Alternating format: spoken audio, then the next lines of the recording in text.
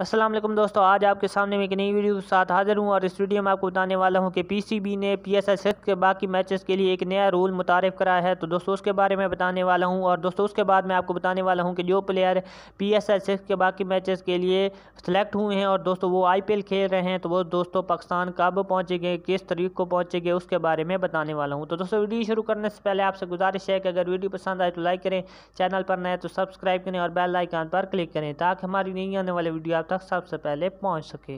तो दोस्तों वीडियो शुरू करते हैं और सबसे पहले मैं आपको बताने वाला हूँ कि आईपीएल में जो प्लेयर खेल रहे हैं और पी एस एल सिक्स के बाकी मैचेस के लिए पिक हुए हैं तो दोस्तों, ये पाकिस्तान कब पहुँचेंगे तो उनके बारे में बताने वाला हूँ। तो सबसे पहले शकीब उल हसन की बात करते हैं, उसके बाद रसल, उसके बाद बैन कटिंग दोस्तों, ये तीनों प्लेयर के के आर का हिस्सा है और दोस्तों दोस्तों, इनका आखिरी मैच इक्कीस मई को है और दोस्तों पी एस एल सिक्स का क्वारंटाइन पीरियड भी तेईस मई को स्टार्ट हो रहा है। तो दोस्तों, शकीब उल हसन तेईस मई को पाकिस्तान पहुँच जाएँगे, उसके बाद बैन कटिंग भी पाकिस्तान पहुँच जाएँगे तेईस मई को। उसके बाद रसल की बात की जाए तो रसल ने पहले ही बता दिया था कि वो सिर्फ़ आखिरी आठ दिन के लिए ही पी एस एल सिक्स का हिस्सा होंगे।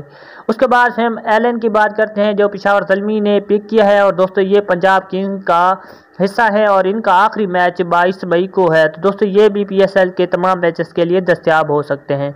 उसके बाद दोस्तों इमरान तैर की बात करते हैं तो इमरान तैर भी सी सीएसके का हिस्सा है, और इनका आखिरी मैच 23 मई को है। और दोस्तों लगता ऐसे ही है कि इनकी टीम प्ले ऑफ़ में पहुँच जाएगी। तो दोस्तों, ये कुछ मैचेस के लिए दस्तियाब होंगे, यानी आखिरी मैचेस के लिए दस्तियाब होंगे।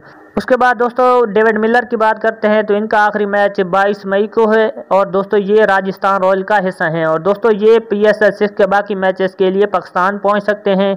दोस्तों, ये तमाम मैचेस के लिए दस्तियाब होंगे क्योंकि ये तेईस मई को पाकिस्तान पहुँच जाएँगे और दोस्तों पी एस एल सिक्स का क्वारंटाइन पीरियड भी तेईस मई को शुरू हो रहा है। तो दोस्तों, वो प्लेयर जो पी एस एल सिक्स के बाकी मैचेस के लिए पिक हुए हैं और दोस्तों, वो आई पी एल खेल रहे हैं तो दोस्तों, उनकी टीम अगर फाइनल में पहुँच जाती है या प्ले में पहुँच जाती है तो वो प्लेयर पी एस एल के कुछ मैचेस के लिए दस्तियाब है। तो उसके बाद दोस्तों पी एस एल सिक्स में प्लेइंग इलेवन में जो नया रूल आया है उसके बारे में बताने वाला हूँ। तो दोस्तों सबसे पहले मैं आपको बताने वाला हूँ किसी भी ने एक नया रूल मुतारफ़ कराया है। दोस्तों प्लेइंग अलेवन में ये रूल है कि आप सिर्फ़ दो प्लेयर मिनिमम दो प्लेयर आप बाहर के खिला सकते हैं। दोस्तों मिनिमम दो प्लेयर खिला सकते हैं और ज़्यादा से ज़्यादा आप बाहर के चार प्लेयर खिला सकते हैं।